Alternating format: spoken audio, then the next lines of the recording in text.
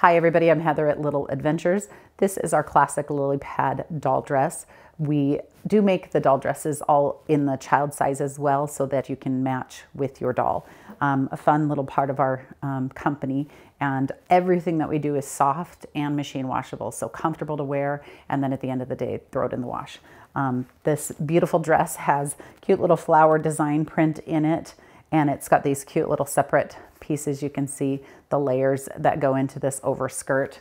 Um, it's got a little bit of detailed trim through the neckline, this cute little flower on the front, and the back is a Velcro closure.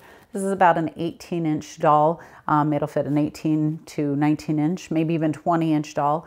Um, and this is a 20 inch plush animal. It will fit also a plush of a similar size to this one. Wanted to let you know that this is one of Little Adventures. This is Felicity Fawn in our Woodland collection. Such a fun thing for them to be able to, to dress up their dolls and their plush at the same time. So uh, hopefully you'll come back and shop for the butterfly often. And thanks for looking at Little Adventures. Música